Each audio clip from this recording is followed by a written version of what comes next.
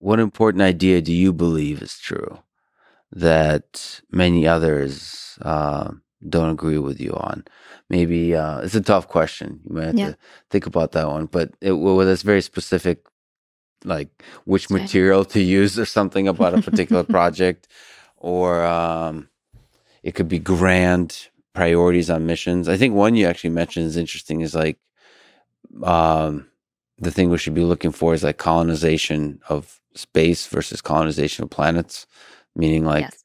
uh, That's probably my best hot take that people would disagree with me on is life in floating cities as opposed to life on on the surface. How do you envision that like spread of humans? Because you said at the beginning of the conversation something about like scale, increasing the scale of basically humans in space.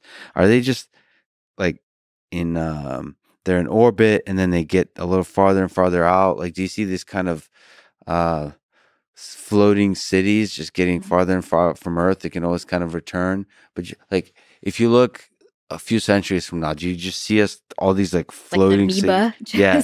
like, right. and it just kind of en- envelops uh the space around us and it's like neighborhoods like yeah. Yeah. And these there's like rural and there's like uh, giant structures and there's small yeah. Pirate structures and that kind of stuff structures. Yeah.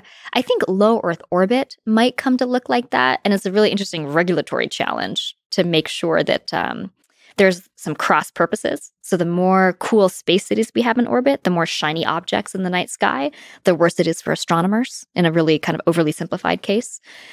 So there's some pushback to this like amoeba-ing where we just grow kind of um, incongruously uh, or indiscriminately as an amoeba in low Earth orbit. Beyond that, though, I think we'll grow in pockets where there are resources. So we won't just expand around the gravity well of Earth. We'll do some development around the moon, some development around asteroids, some development around Mars, because there'll always be purposes for which we want to go down to a physical object and study it or extract something or learn from it.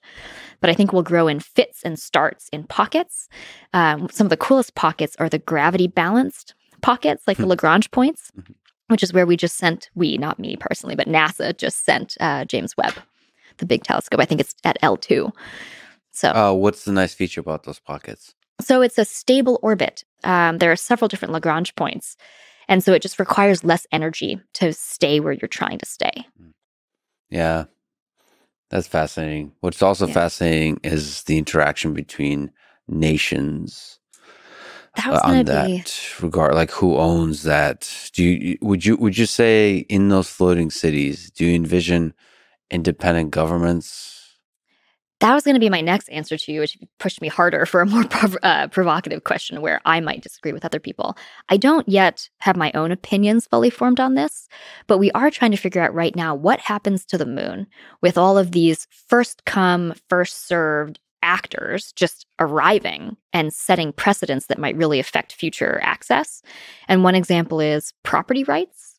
We do want companies that have the expertise to go to the moon and mine stuff that will help us uh, you know develop a human settlement there or a gateway but companies need to know generally that they have rights to a certain area or that they have some legal right to sell things that they're getting does that mean we're going to grant property rights on the moon to companies who has the right to give that right away so there's a bunch of really kind of gnarly questions that we have to think about which is why i think we need space lawyers maybe that's the true provocative answers i think we need space True. lawyers I mean, what? Yeah, yeah. I mean, but those questions again, as you said eloquently, will help us answer questions about here on we Earth. hope so yeah It, it is a little strange.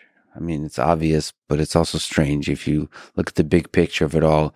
That we draw these like borders around geographical areas, and we say this is mine, right. Like, and then we fight wars over what's mine and not. There, there. It seems like there, there's possible alternatives, but also it seems like there needs to be a public ownership of some parts. Something. Um like you know what is it central park in new york? It's there's something like preserving commons yeah the commons commons that's why we titled the book into the anthropocosmos we know it's a long kind of a mouthful but this notion of the anthropocene uh, we have a lot of commons problems in humanity. How are we treating the Earth, global climate change? How are we going to treat and behave in space? How can we be responsible stewards of the space commons? And I would love to see an approach to the moon that is commons based, but it's hard to know who would be the protector or the enforcer of that.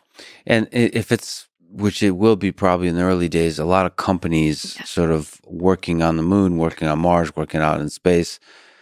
It feels like there still needs to be a civilian representation of like the greater effort or something like that. Yeah. Like where there should be a president, there should be a democracy yeah. of some kind where people can vote. Some representative government. Those are all again the same the same human questions.